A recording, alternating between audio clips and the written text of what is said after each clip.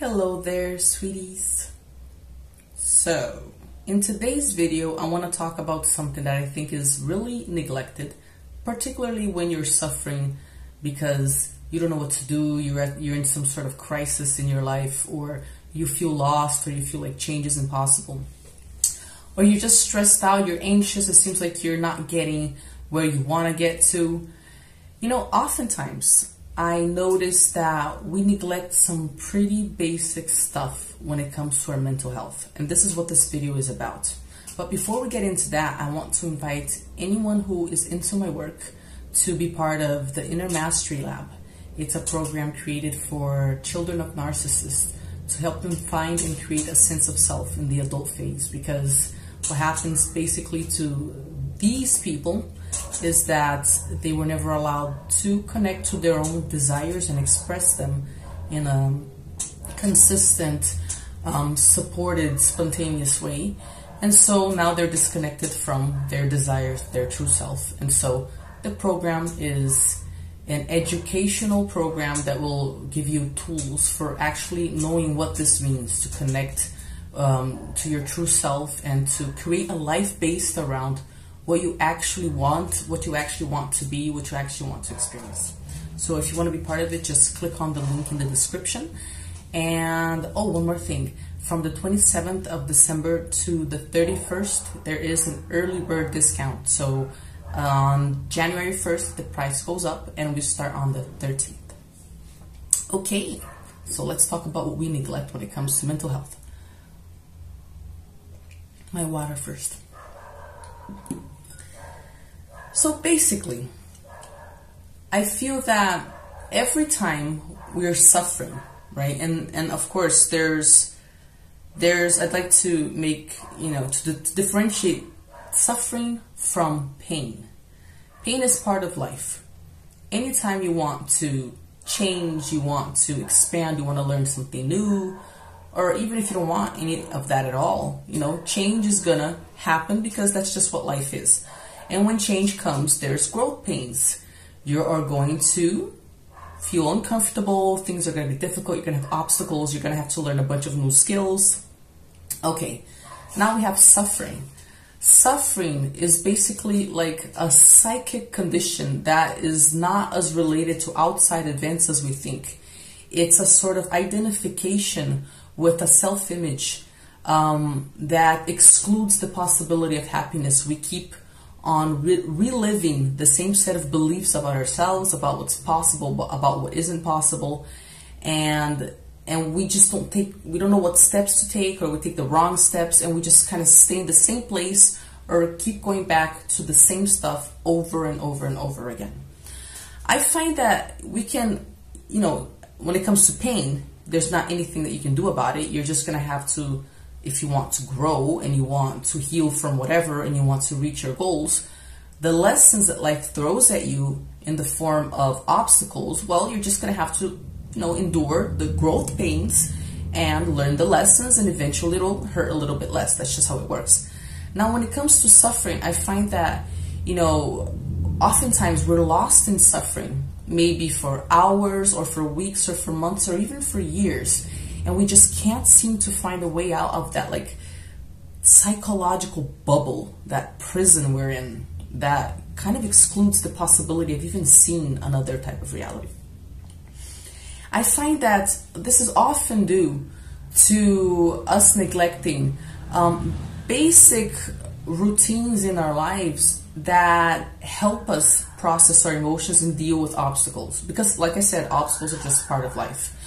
I find that when we are dissociated from our true selves, and that means that we are constantly on the go, we never pause and ask ourselves in silence what we actually desire. We don't, um, when we feel discomfort, uh, because, you know, I don't know, something happens in, in our relationships or at work or whatever, uh, we don't, when we don't pause to understand why we felt the way we felt, um, what we'd like to change in case we're in a similar situation in the future. We, when we don't have like these moments where we regularly check in with our desires and figure out what the heck we want and what actually went wrong and why we keep, you know, ending up in the same situation, you can get lost in this in suffering for many years, for decades, your entire life even. So the simple act of and, and there's a thing when when you're dissociated, you don't you can't see your you, you can't really keep your own best interest in mind. And you start neglecting basic things like what you eat um, your social life or the quality of the people you spend time with the things you you think about. But uh, i mean even more even things that are like even more basic such as sleeping right? Um, basic hygiene even. Sometimes you're having a really hard time dealing with life and things are feeling kind of bleak or kind of like they don't really have meaning or there's not much purpose. And then when you stop and think about it, you know, you've been eating pizza for one week and you haven't been sleeping right at all and you've been locked in your in your house and you haven't been going out and you haven't been having meaningful connection with people that you get a positive energy from and that um, leave you energized and actually um, help you identify your true desires and build a life around your true desires. And I, I find that if you just start fixing those basic things like, okay, let's let's ditch the pizza and let's, you know, buy something a little bit healthier, maybe some fruits and vegetables and a little something different because I like, you know, I like something that's not 100% healthy, but maybe it's not an entire pizza. When you start making those choices that support just basic self care, all of a sudden the emotional part starts working. Or at least 50% of that weight um, comes off your shoulders and it seems lighter. The thing is, we often forget that the emotional, um, psychological, and physiological state that we're in, it distorts the way that we view reality.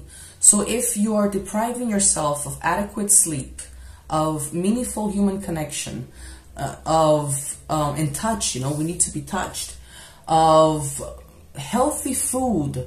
If you're depriving yourself of some form of exercise that makes sense to you and that you actually enjoy, what else, guys? Um, yeah, if you're depriving yourself of just like you know basic hygiene, you don't you don't change your clothes, you don't brush your teeth. Maybe you work at home and you're like, oh, what difference does it make? Or you know, you go out in the street and you don't care what you look like, not because you need to be worried about what people think of you, but because everything we do is an opportunity to love ourselves, including the, the clothes you wear, whether you brush your teeth or not. So these are all opportunities for you to love yourself, right? And when we let all of these opportunities go by, we eat crap, you know, we sleep we don't sleep or we sleep super super late all the time or not enough or too much or whatever it is. And we're dealing with people who just like get us down or, or and we can't even tell them about our dreams because if we do they start projecting their fears onto us. Oh but have you seen the economy? Oh but what about this or what about that? So guys the message of this video is sometimes all you need to ask yourself is am i treating myself well like a mother would treat her own daughter or like a mother would treat her own son?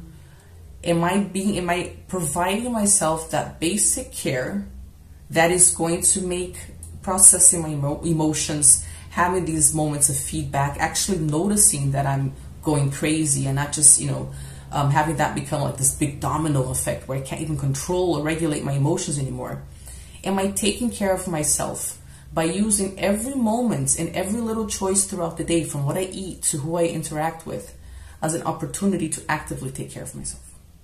So that's the message I want to leave you guys with in these holiday holiday days in this holiday season, uh, because I know it can be a really really tense period of the year for many of you, for many of you, and I invite you if you feel disconnected from your family right now or you feel that things are super tough or you're by yourself for the first time, I invite you to use this opportunity to figure out how you can best take care of yourself. You know, you can create a moment, um, you can, you know, go through these next few days feeling crappy about life, feeling crappy about yourself. And it's okay to feel crappy about things. But you can also ask yourself, okay, Maybe I'm not having that traditional holiday, you know, that I think my friends are having. Maybe they're not, you know. Um, but how can I make this an opportunity to take care of myself, to relax, to actually enjoy what I'm doing? And you know what? Just to pamper myself a little bit, pamper my family, the family I do have, the friends I do have. All right? So that is it, guys. Remember, the Inner Mastery Lab starts on January 13th, but you can get an early bird discount from the 27th of this month, December, to the 31st. If you like this video, then please like it. Leave your comment below. I love I love reading your feedback. I don't answer because I don't have time, but I read almost everything you guys write. Almost everything, because sometimes I don't know why I can't read certain comments, but anyway, it happens. If you thought the video was useful, then share it. It might be useful for someone else as well. Happy holidays.